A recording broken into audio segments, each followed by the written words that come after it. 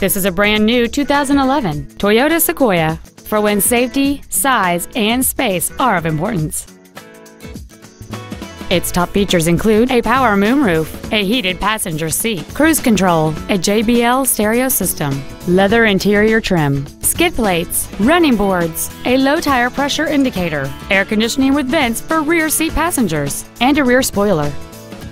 Stop by today and test drive this vehicle for yourself. Toyota of Dallas is located at 2610 Forest Lane. Our main objective is to make your experience at our dealership a satisfying one, whether it's for sales, service, or parts.